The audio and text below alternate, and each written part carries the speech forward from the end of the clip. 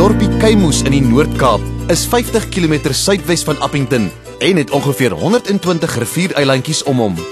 Geleë in die laar Oranje rivierstreek, is dit 'n oase in 'n andersins semi-woestyngebied.